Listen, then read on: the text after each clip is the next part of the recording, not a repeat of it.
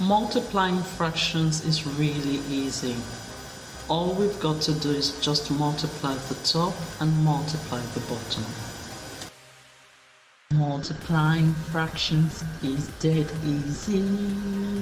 Just multiply the top and the bottom.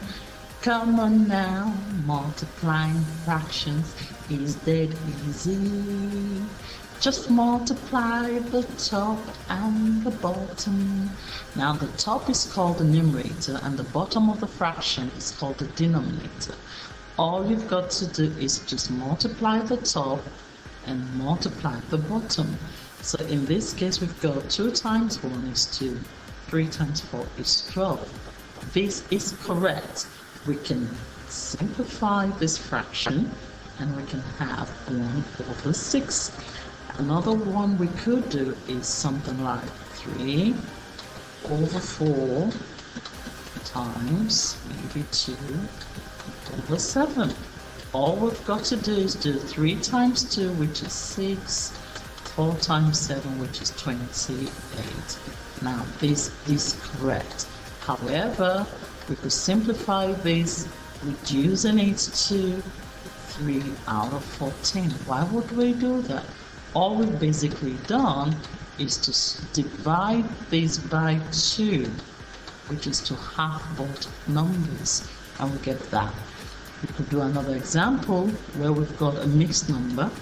We have something like 2 and a quarter times 3 and maybe and a half.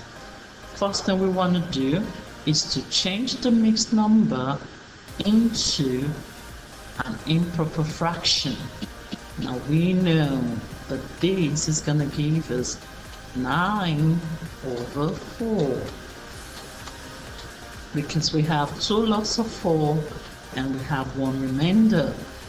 And then we times this by 3 lots of 2 plus 1 which is 7 over 2 now we can multiply the top which is 9 times 7 63 and now we can multiply the bottom which is 4 times 2 which is 8 now we all know how many lots of 8 in 63 we know 8 lots of 8 is 64 so there will be 7 lots of 8 in 63 which is 56 and we've got how many left over from 56 to 63 we should have 56 at 7 would give us 63 so that's all we should get.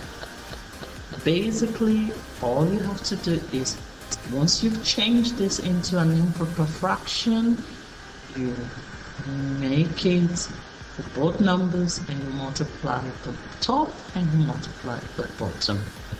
And this is correct but then you can simplify further. This is correct